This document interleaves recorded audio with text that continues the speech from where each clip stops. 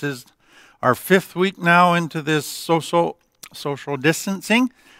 And we've been doing a, a, series kind of in light of this. It was a series I had planned to do anyways in the next few months, but it was about recovery dangers. And what I realized as COVID 19 came along is that it was putting people in recovery into a lot of dangers. So, pretty much every topic that I was going to cover about dangers that people face in recovery was coming up because of this COVID 19.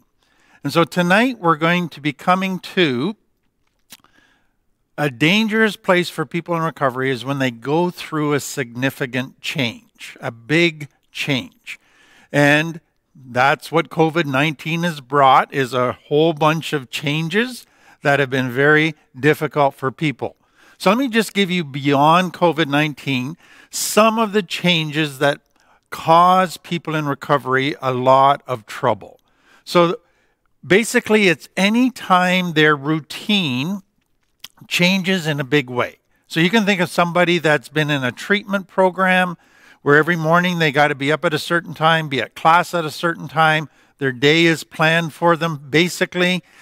And then they finish the program, they graduate, and now they don't have to get out of bed in the morning, they don't have to do assignments or anything. So there's a huge change in their routine, very difficult for a lot of people. For others, just going on vacation can be a, a real big change of routine that they weren't expecting that it really messed them up. So anything that changes your routine in a significant way is quite difficult for people coming out of complex trauma. So, another big change is people going back to work. So, they've been off work, they've been in programs, but now they're going back to work, and that messes up people in a big way. Or people who've had a job and been going to work every day, and then all of a sudden they lose their job, they get laid off, and that changes their routine in a big way. Another, probably one of the biggest ones, is a lot of people come into recovery without their children. They've been taking, taken away from them due to their using.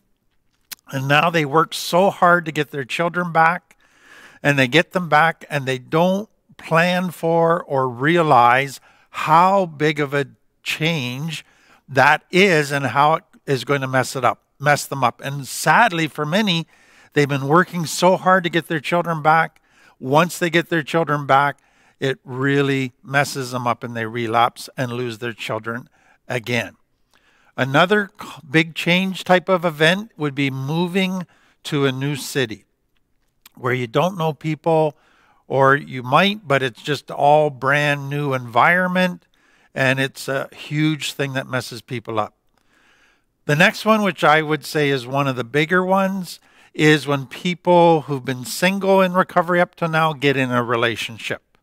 Or they've been in a relationship and now they have they move in together. And that typically messes people up big time. Another one is having a child. Um, all of a sudden all of the change that that requires how it throws your whole lifestyle routine it just throws it crazy and it a lot of people aren't prepared for that. Another one is some type of traumatic event. So, an illness, an accident, all of those types of things, or losing somebody. So, somebody close to you dies, or you lose something, an event, some type of institution, some type of activity that was very important to you. You're no longer able to do it, it closes down, or whatever. And then an illness is a change that does a really affects people, but they don't even realize until they're actually in it how much it can mess with them. So those are some of the changes that are, I would classify as big changes, changes that I have seen in the people that I work with that really put them into a vulnerable, dangerous position. Now, that leads to a question why? Why is change such a difficult thing for people in recovery, people from complex trauma? A number of reasons. When any change comes, so just take, for example, you get your children back or you go back to work. all of a sudden your priorities in your life can change without you re- even realizing it. Think of getting into a relationship. So, up till now, you've been single, and your priorities have been I have to be recovery, because if I don't have my recovery, if I relapse, I lose everything. So, what do I need to do for my recovery? I need to have these priorities in my life connection with God, going to recovery meetings, being involved in counseling. That is a priority. Then you fall in love, or you get your kids back, or you go back to work, and then all of a sudden you don't have as much time to do those priorities. Or now the new girlfriend, or spending time with your kids becomes more important than your recovery, and everything gets pushed down your priority list that used to be number one and two is now four and five. And all of a sudden, your priorities change. Then that whole, you don't have as much time. So people that are in recovery, they are saying, I have to do- devote this amount of time every week to recovery. And now they are back to work or they have their kids back and they're spending all kinds of time every day, eight hours a day at work, etc. And they just go, I'm too tired to go to a meeting. I'm too tired to contact somebody. And they just do not have the time. And then there's another piece to change that is very difficult for people. And that is when you are in your existing routine, your existing situation in life, you have what you would have as your rocks. The things that you lean on, the things that are there for you, the things that bring stability to your life, the things that cause you to feel secure and safe, and know that if you're having a, a struggle, you can go to that person or that thing and get the support you need. But when life changes in big ways, all of a sudden, you can lose some of those rocks. They're not there for you anymore because you've moved or they've moved or whatever. And so now, when you go through a change, the very things that provided you with security and stability aren't there for you. And you can feel all up in the air. You can feel very insecure, and it can be a very scary time. Another part to change that is very difficult for people is that change introduces unknowns. So you can prepare for a lot of change, but you might not be able to see every possible scenario that will happen because of that change.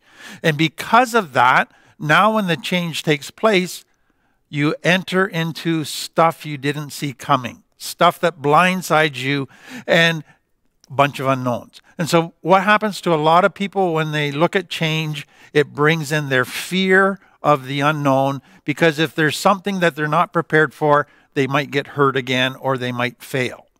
And then, because of that, what happens in our brain whenever we go through change, if we come from complex trauma, is our sensitivity is heightened. We are now more alert to danger. We are on guard even more.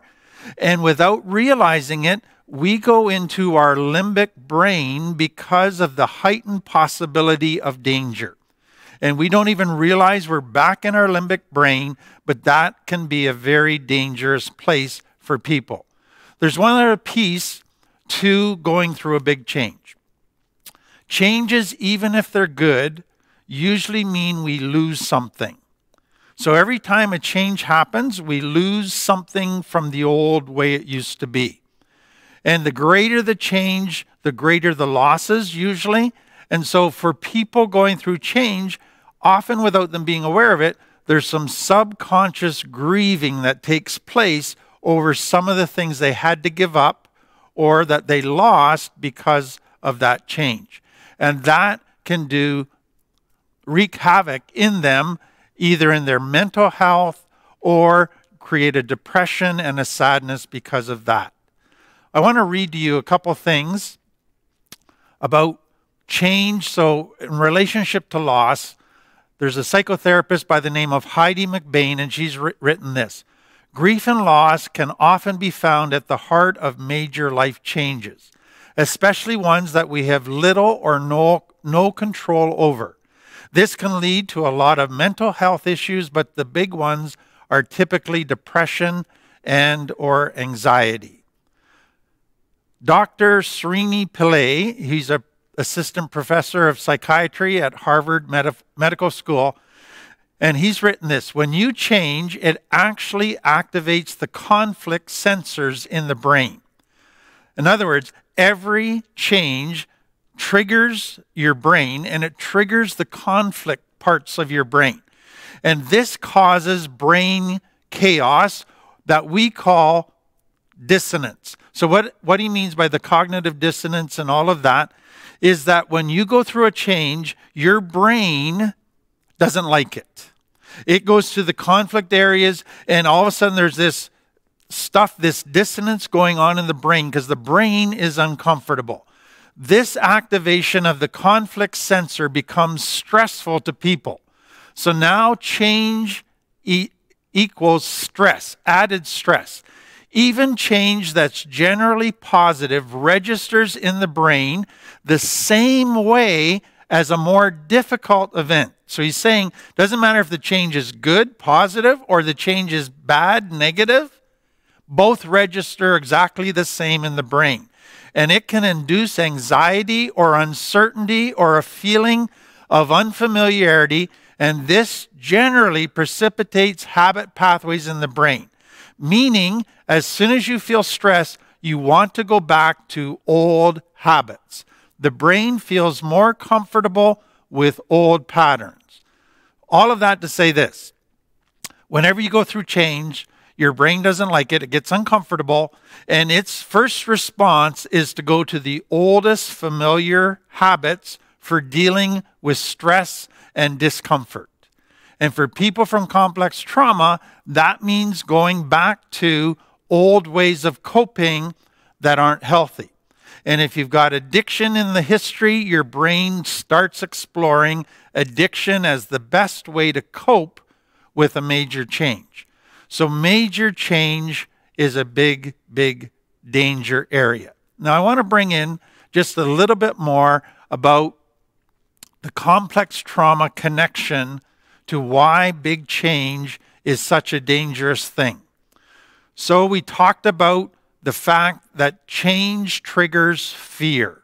And for people from complex trauma, it triggers fear in a big way fear of the unknown. Let me read again from Dr. Pillay. He says this A study showed that in people who are uncertain, so they're going through a time of change, 75% of the people mispredict when bad things are going to happen. In other words, what he is saying is this when people from complex trauma come to a, to a time of change, their brains start predicting the future.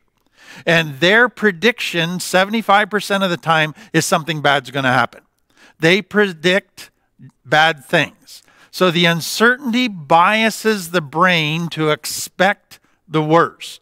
This doesn't mean that change is great and that you should expect the best every time, but you should recognize that your brain will go into a not automatic negativity bias.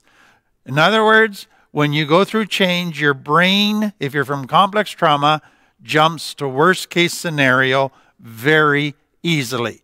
And that is not good because that then adds stress that adds that fear of the unknown. That adds all kinds of limbic brain feelings that cause you to want to go to fight, flight, or freeze. Very dangerous. There's another thing that happens with complex trauma. So, the design in a healthy child growing up in a healthy family is that when they go through change and they feel the anxiety and the stress and the fear that something bad might happen, they have mom and dad to go to as a rock.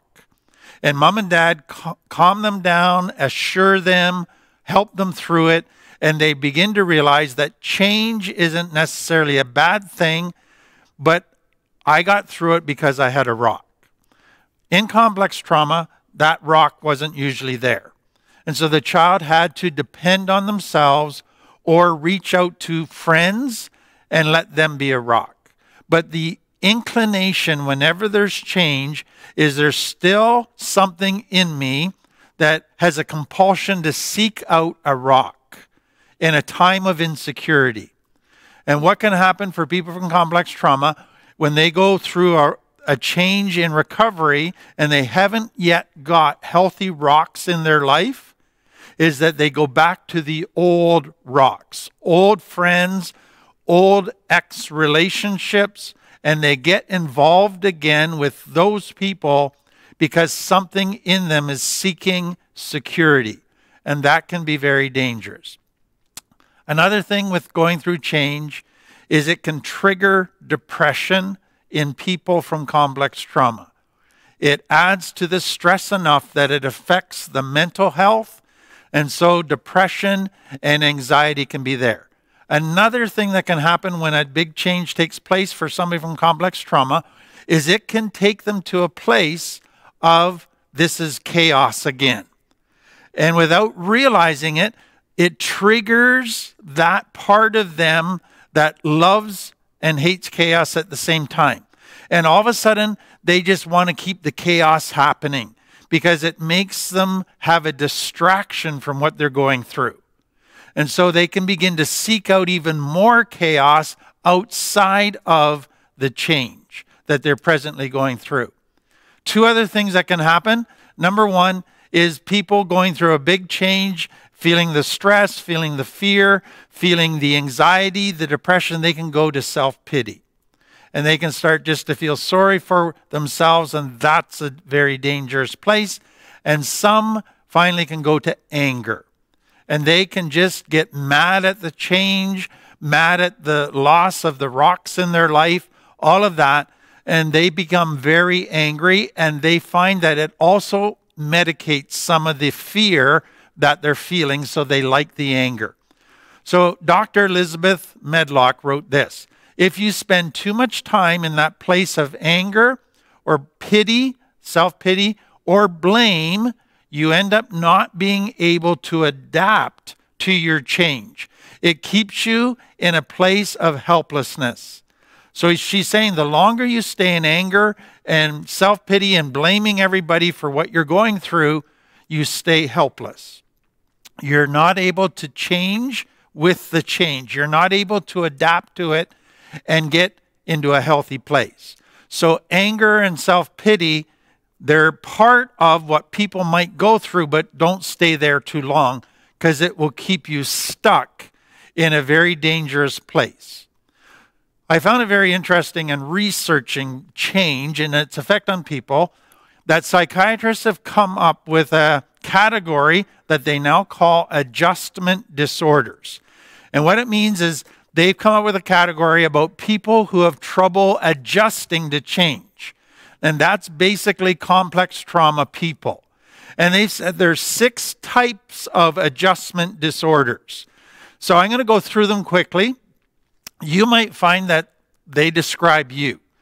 And I'm not trying to stick anybody in a box. I just think it adds some extra insight into the fact that people from complex trauma have trouble with adjusting to change. So the first adjustment disorder is called adjustment disorder with a depressed mood. And so a person what they're saying is a person goes through adjustment and that triggers depression. They then after the change they go into a depressed state. And so they just feel sad. They feel hopeless about everything. They don't enjoy anything. They cry a lot. So that's number one. Number two is they go through a change, struggle with the adjustment, and go to anxiety. And so now they're afraid of everything. They feel overwhelmed and they, they just are on guard all the time. They worry. They have all kinds of anxiety issues happening. For children going through that, they can go through times where just they're going through a change and then they have to leave their parents for a little bit, and that creates even extra anxiety. So, anxiety. Third one is you go through a change and you struggle with it, and it takes you to both depression and anxiety. Fourth one, and this one is quite interesting. It's called with disturbance of conduct. So you go through a change and something changes in your behavior. You're not dealing well with the change. And so here's some of the symptoms behavioral problems, such as you you fight all the time now. You pick fights, you're always getting angry, you're quick to fight back, or you just rebel against everything. You, you're antagonistic. You dig in your heels when anybody suggests anything. Some go to, they become very irresponsible. They don't want to do anything, they don't follow through on appointments, on responsibilities. Some go to lying, some become very angry and hostile and lash out all the time. Some become very impulsive and lack inhibitions. So they just do a whole bunch of things on impulse that aren't very wise. And the final disturbance of conduct thing is they become reckless in their behavior. They be, begin taking risks, driving dangerously, other types of risks, all because they're not dealing well with change. And you might relate to some of those. And then the fifth one is called with mixed disturbance of emotions and conduct. So that one would be you have depression, anxiety, and you act out. And then the sixth one is called unspecified. You have trouble, you have changes in behavior, just doesn't fit the rest. So all of those things can come out of complex trauma and they are now referred to as adjustment disorders. So, having said that, what are some tools to help us get through times of change? So, let me give you a parallel that might help you just think this through. I remember when I graduated out of university, I moved to a city to take a job there. And I only knew a couple people there, but I really didn't know anybody. I wasn't close to anybody. And what I realized thankfully, is that that was going to be a dangerous time for me to move to a brand new city, brand new time of my life, taking on a new job. I needed to go in there prepared. I needed to think through this change because I knew if I got into that change and I started making some bad decisions, it was going to be even more dangerous for me. I was going to be in big trouble in a hurry. And so, what it forced me to do was to think through a whole bunch of things. And that's what I want to give you to, for, for, uh, right now. But before I get into that, let me just say this. It takes our brain a little while to adjust to a change. Even the most healthy people know that when they go through a change, it's going to take them a couple weeks to figure out how to live healthy within that new change. So you have to be patient with yourself. So, going through a change, don't expect that you're going to have it all figured out on the first day. Give yourself a couple weeks to learn to figure out what you need to do in order to get healthy. Okay. Secondly, the first thing that I realized when I moved to a new city was I needed to be on guard against falling into any old habits. And so every person has kind of their habits that aren't healthy that their brain wants to go to when they're struggling. And so I had to think through, okay, what are where are the areas where I am most vulnerable that my brain is going to want to go to? I need to guard against falling into those. Cuz if I fall into those even for one day, I could be in big trouble. Because as soon as I feed that monster, it's going to come back with greater power wanting to be fed even more. So, what I had to do was I sat down and I said, What are the priorities of my life? What are the top things in my life that if they're not in place, nothing else good is going to happen? And so I had to sit down and figure out what my priorities were if I was going to be healthy, what those priorities translated into as far as what do I need to do every day in order to be healthy. Okay, so now going to a new city, those things have to be in my life. So, what can happen when we go through change is we can get distracted by all kinds of things within the new change. And we can start to lose touch with what's important for being healthy. So sit down and figure out what are the most important things I have to have in my life if I have any chance of being healthy, of doing the right things. So once you do that, then plan your days, plan your weeks out so that you make sure you have the right kind of activities in your life. And that will usually involve a variety of activities. So you're going to do things to stay connected to people. You're going to do things to stay spiritually connected. You're going to do things to keep track of how you're doing, being self aware physically, emotionally, so that what do I need in my life to be physically fit, spiritually fit, connected to others, on top of my emotions, dealing with problems, all of that becomes very important. Now, understand this if you go into a change and you don't plan, yes, you'll get distracted for a while, but then you'll get bored.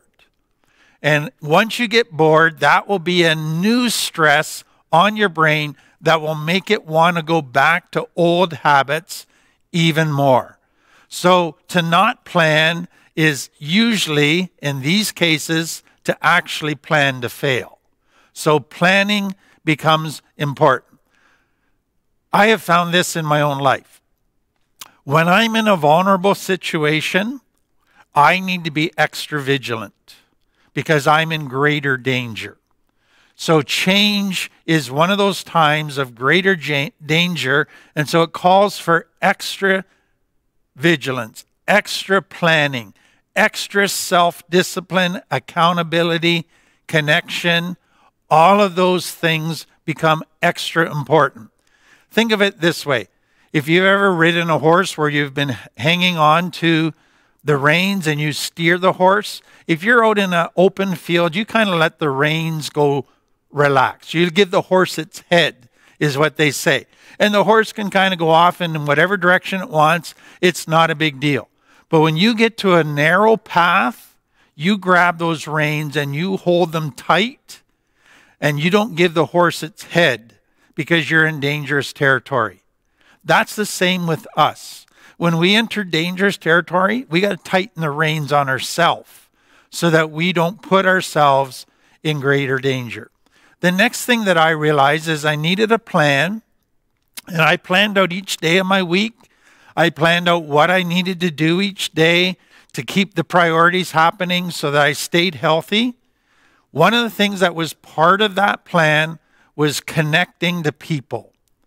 And so that meant for me going to a new city, I had to connect still with my existing rocks from the previous city, but I had to start building new relationships so that I could find a group of one or two or three healthy people so that I could begin to get new connection and good relationships. Next thing to be on guard when you go through change is that desire to seek out a rock in the sense of falling into a romantic relationship. Really guard against that because you're extra vulnerable in times of change into following falling into that. The final thing is this I read some research that I found fascinating. And it said when you go through times of change, there's part of you that needs to be super focused. You need to tighten those reins. You can't not be vigilant. And you got to problem solve and you got to work out new things and you got to be on task. And our tendency is to go into overdrive to drive ourselves to think 24 7, trying to anticipate every problem, etc. What they have found is our brain every day needs time to relax, it needs a break. And what they also found is that when our brain relaxes for a while, it actually can process stuff better than if we stay tense and focused and strict and intense all the time. And so we need times where that brain can just take a break. But what it's doing is it's not totally taking a break, it's still processing, but it's processing stuff we had never processed if we were still in tents. And as I thought about that, I realized, yeah, that's I've gone through that experience in my own life. I've gone through times where I've been super focused and I've worked through a whole bunch of things, but when I've gone home that day and I've turned on the TV and watched something, all of a sudden my I realize my brain is processing stuff and I get great insights into stuff. So still try to keep some balance, some focus and intensity, but still some time just to relax a little bit. So, sad to say, COVID 19 for most people has introduced a whole bunch of changes that you didn't see coming, you weren't prepared for, and some of them you're not liking at all. You're out of your routine. You might have kids underfoot all day long, and that's driving you crazy. You can't connect with some of your friends like you used to. And so you're finding this change to be extremely difficult. I hope that what we've shared tonight will just give you some insight and give you some tools that will help you on this journey and help you to deal with these change in a healthy way. So that's the end of part one. I'm going to take a one minute break and then we'll come back for the Christian part.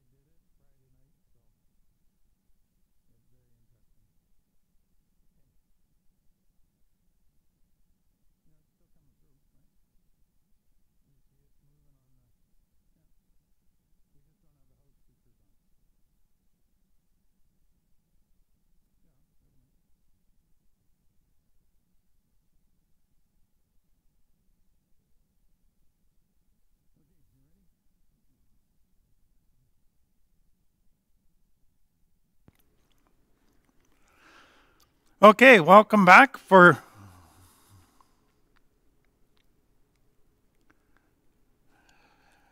Welcome back for the Christian part. And we're almost done this series on following Israel after they came out of slavery in Egypt. And we've been focusing on the fact that during that four generations of Jewish people living in slavery, they went through four generations of complex trauma. And in their behavior, once they get out of slavery, we begin to see the characteristics of complex trauma being lived out in their life. And they were like many people that I deal with. They thought that the slavery was their problem and that after they're out of slavery, their life would be great. But what they realized is after they're out of the slavery, now they had to deal with the real problem, which was their self. The complex trauma of slavery had changed them. In order to survive that trauma, their coping skills now made healthy life impossible. And so they became their own worst enemies. So we've been watching the things that God did to help them begin to face the problems in themselves, to help them change and get through that. And so tonight I want to back away from a specific event that took place and give you a big picture of what was happening gradually over the time after they left slavery. So, what we saw is that in the first year after they left slavery, they went from Egypt to Mount Sinai and they spent a lot of time there. God gave them the Ten Commandments, gave them a new religion, a place to worship, the tabernacle. They got set into this new life with new rules, new government. All of those things were developing. After a year, he then took them on to the promised land where they went through um, getting ready to conquer that land.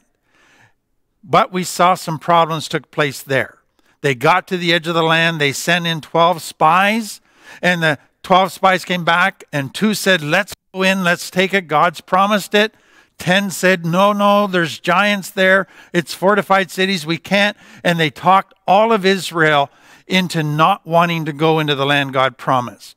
And that's what we looked at last week. So, what I want to look at tonight is what was happening gradually to the relationships of the people with Moses over that two year period. And what we're going to see is a sad story. And part of why I want you to think about this with me is this.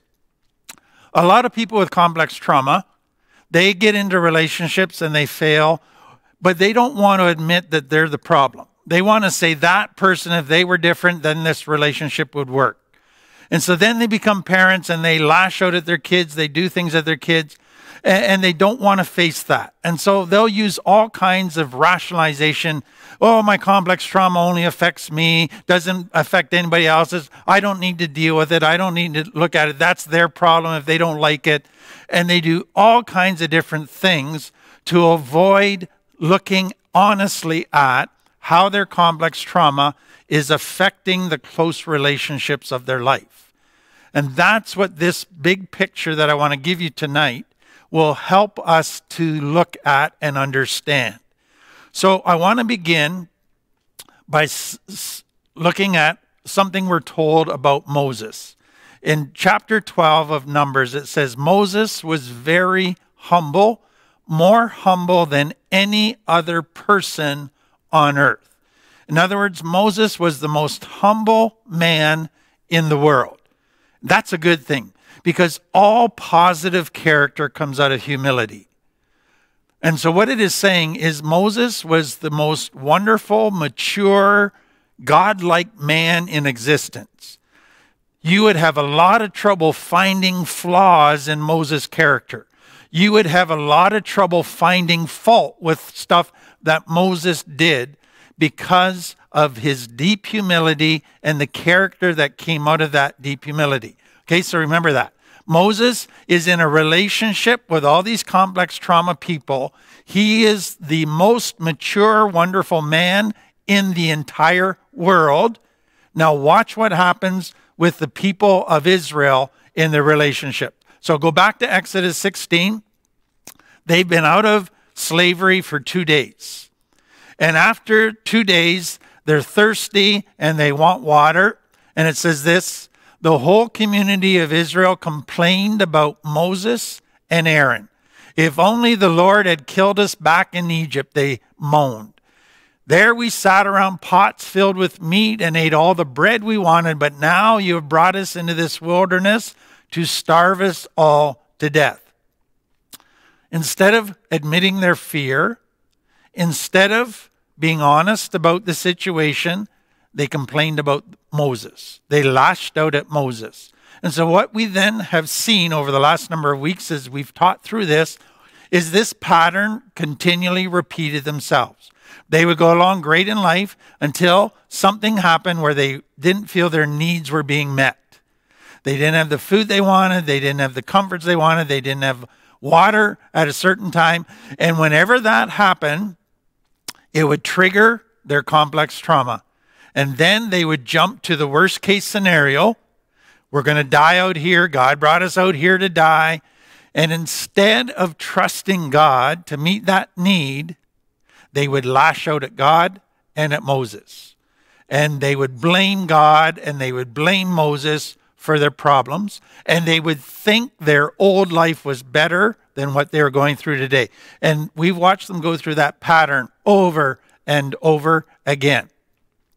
So let's move forward in the tape to the events that we now come to as they sit at the edge of the promised land when they're getting the spies to go into the promised land. So it says the spies have come back while they were at Hazeroth. Miriam and Aaron criticized Moses because he had married a Cushite woman. They said, Has the Lord spoken only through Moses? Hasn't he spoken through us too?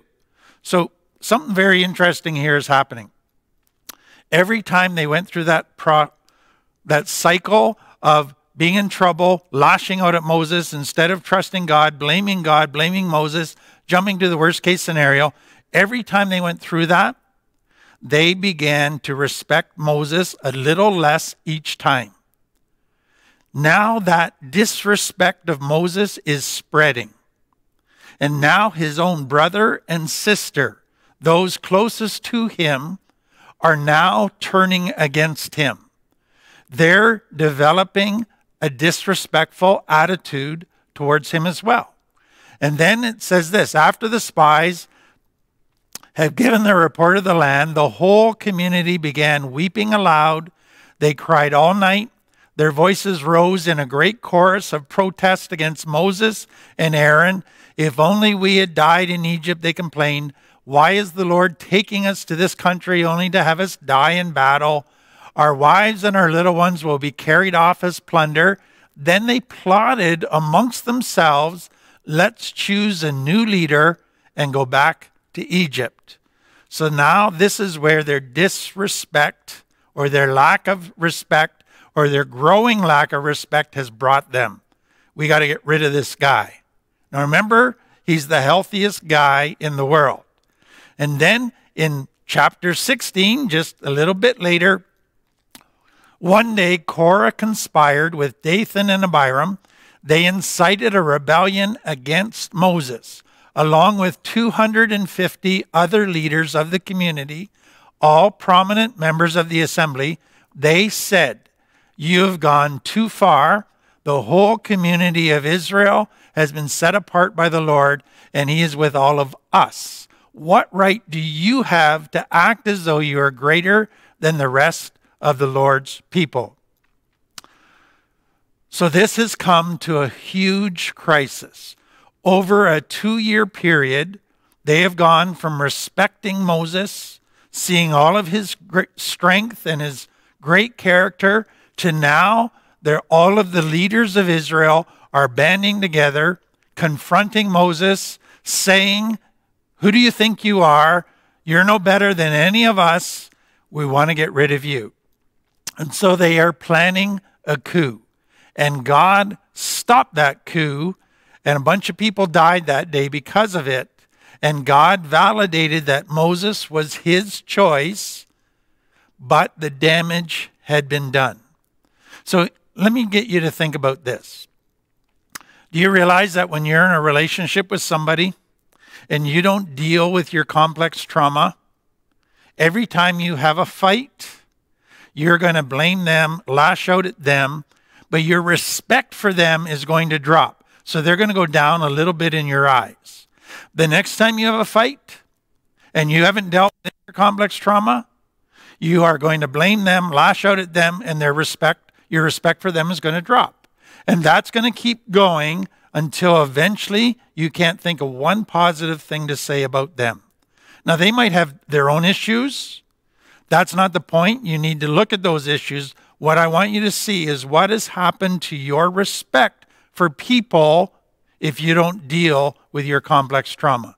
So if you don't deal with your complex trauma, every relationship, even with healthy people, in your eyes, those people will continue to lose respect.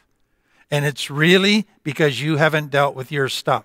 So let me put it this way What was the real issue for the people of Israel. They wanted to say it was Moses, that he was a bad leader. What was the real issue? Their fear. Their fear of the unknown. Their fear of taking a risk and trusting God. What would have been the solution to their fear? Trusting God. God had promised, God had proved that He could take care of them. God had promised to give them the promised land. God had overcome the greatest, most powerful nation in the world Egypt to bring them deliverance. He could handle any enemy in their future.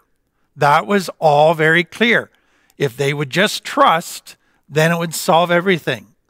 But they refused to trust and they refused to admit their fear, and it was their issues that was causing them to become angry and lash out every time their trauma got triggered.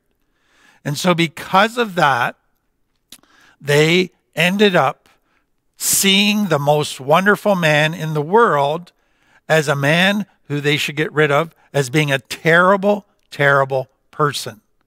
So, what I want you to hear in all of this is a very important point. I am not saying if you're in a relationship, You shouldn't honestly look at the other person. And if they've got a whole bunch of flaws that are deal breakers, you should get rid of them. Okay? Don't misunderstand me there. But what I want you to understand is this if you don't deal with your complex trauma, it will eventually cause you to lose respect for even the most wonderful people in your life, and you will get rid of all the good people. More than that, it will take a relationship which might be between two people who got their issues, but they're both working on it. But if you don't deal with your stuff the way you should, you're eventually going to destroy that relationship. And it's going to mess up your relationship with your children. So, the story of Israel, loud and clear, brings into focus what happens to relationships when people don't deal with their stuff. And then I want to end with this. What is the beginning place for dealing with our stuff? It's what the people of Israel went through when God first brought them out of slavery in Egypt. The first thing God did was put them into a situation where they had to trust Him. And they did not like that. They got mad. But He was saying you can't grow and heal unless you learn to trust. And that's the hardest thing for a person who's been hurt by everybody in their life. To trust somebody again is a scary risk. And so, what I want you to hear is this if you're seeing your complex trauma, and if you see that when it gets triggered, you lash out and blame people and get angry at people and hurt those around you, you have to begin by saying, I have to take the risk of trusting God with my life, turning my will and my life over to Him. I have to take the risk of trusting some people because if I don't, I will never heal and I'll destroy all my relationships. So I hope that gives you a sobering reality check and motivates you to keep working on yourself. Let's pray. Father, we all need to be reminded of the dangers that we face when we don't deal with our stuff and the damage that it does. And Lord, for some, the damage can be so great in our children that they may never recover from it. But I thank you for most kids that they do want to heal the relationship with parents who have hurt them. And so I just pray that you would motivate each person and help them to continue to work on themselves. Amen. Well, that's the end of our Friday night, and thank you again for being part of this with us, and we'll see you next Friday.